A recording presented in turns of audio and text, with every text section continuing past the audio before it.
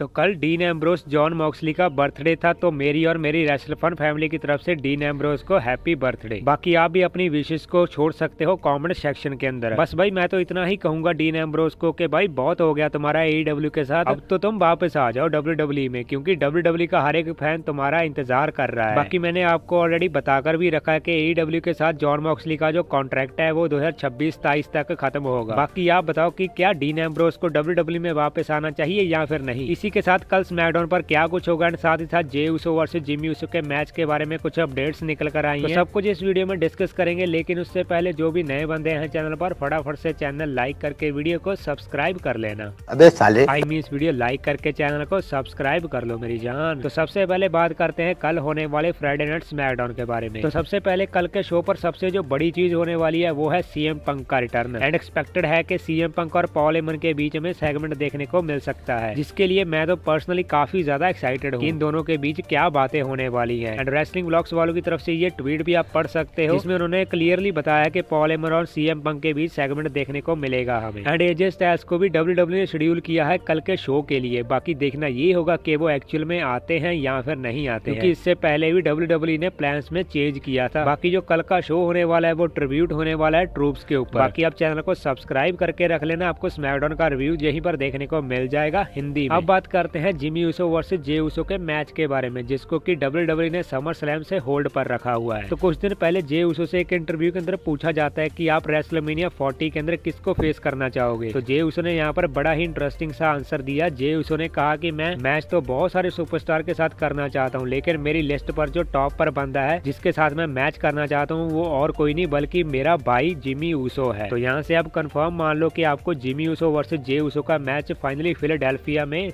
WrestleMania 40 के अंदर देखने को मिलेगा। क्योंकि भाई, ये एक ऐसा मैच है जिसका फैंस को बेसब्री से इंतज़ार है, बहुत लंबे टाइम से इंतज़ार है। उस वर्सेस उस भाई वर्सेस भाई का मैच है ये। और ये मैच रेसलमिनिया जैसी ग्रैंड स्टेज को डिजर्व भी करता है। इसलिए ही डब्ल्यू डब्ल्यू ने इसको अभी तक होल्ड पर रखा हुआ था। बात करें इनकी फ्यूड की तो रॉयल रंबल से Jimmy Uso and Jey Uso के बीच हमें प्रॉपर फ्यूड देखने को मिलेगी। एंड फिर जे उसो को finally W Monday Night Raw से ड्राफ्ट कर देगी फ्राइडे नाइट स्मैकडाउन पर। तो बस हार्डली एक डेढ़ महीना बचा है, उसके बाद रोड टू रेसलमिनिया शुरू हो जाएगा एंड आपको बहुत कमाल कमाल की स्टोरी लाइन्स देखने को मिलेगी इस बार। बाकी आप बताओ, अगर इन दोनों का मैच होता है तो आप किसको सपोर्ट करोगे? मेन इवेंट जे ऊसो को या फिर जिमी ऊसो को? बताना ज़रूर कॉमेंट सेक्शन में। अगर आपको वीडियो अच्छी लगी हो तो लाइक करना एंड सारे लोग चैनल को सब्सक्राइब ठोक देना मेरी जान।